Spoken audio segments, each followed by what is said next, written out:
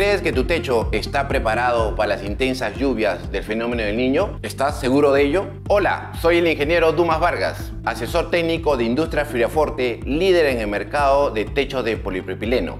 Y en este video te mostraremos información importante para que estés prevenido ante las inclemencias de este fenómeno. Uno de los puntos más importantes que vamos a tocar es la inclinación del techo.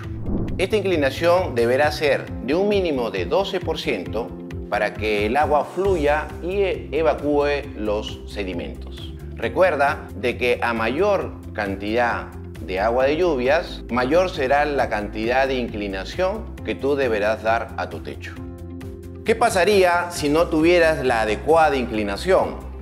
El techo no podría evacuar totalmente el agua y el agua podría ingresar a la edificación causando problemas de inundación. Otro punto importante es tener el techo correcto. Como Firaforte nosotros fabricamos techos de polipropileno que son totalmente herméticos al agua en formatos de onda 76, onda 100 y onda 177. La onda 76 es un producto que sirve para lluvias esporádicas. La onda 100 para lluvias de intensidad media. Y la onda 177 es para lluvias de gran intensidad y constantes. Por eso es muy importante determinar la onda que tú necesitas en función a la cantidad de lluvias. A mayor cantidad de lluvias, mayor profundidad de onda. Adicionalmente, tenemos los formatos TF4, que son para, también para lluvias de gran intensidad, y los formatos de onda teja, que también tienen gran capacidad de evacuación. Por eso, determina bien la onda para que estés prevenido ante estas lluvias intensas. Punto número 3. Es importante verificar la correcta instalación de tu techo. Para ello verificaremos algo importantísimo, que es la distribución de las correas. Debe tener una distancia adecuada entre correa y correa dependiendo del tipo de onda y de la ficha técnica que te brinda Forte. ¿Qué es lo que sucede y qué es el error que se comete? A veces es tener muy poca inclinación y mucha distancia de correas, lo cual causa bolsones de agua que podrían colapsar e inundar tu vivienda. Verifica esto ante un eventual fenómeno del niño.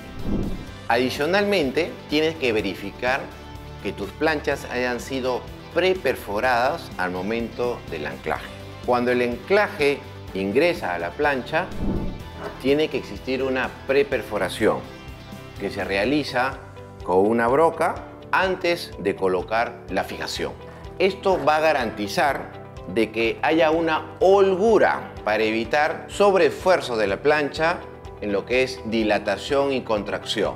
Esto a lo largo puede producir fisuras que tú deberías verificar en este eventual fenómeno. Además, recuerda siempre perforar la plancha en la cumbre de la cresta, en la parte superior, inclusive en los perfiles TF4, que también se debe utilizar en la cumbre de la cresta. Si las perforaciones estuvieran en el valle, el agua que circula en esta zona ingresaría a la edificación causando inundaciones. Y por último tenemos las recomendaciones que son verificar la calidad de mis anclajes. Recuerden que Firaforte va a durar muchísimos años, pero lo que se puede sí deteriorar en esta cantidad de años puede ser el acero de los anclajes. Por eso es importante verificar si los anclajes están en perfectas condiciones y adicionalmente los capuchones que pueden ser deteriorados por el tiempo. Siempre es recomendable, una vez al año por lo menos, hacer una limpieza de tu cobertura, porque puede haber sedimentos de gran tamaño que una eventual lluvia pueden desplazarse hasta tu línea de drenaje y poder obstruirla y causar una inundación. Verifícalo lo antes posible.